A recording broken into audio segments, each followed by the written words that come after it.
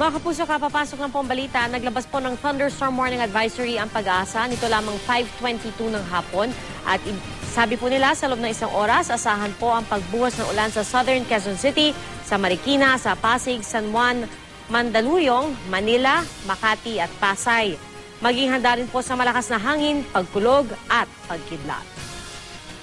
Kaligtasan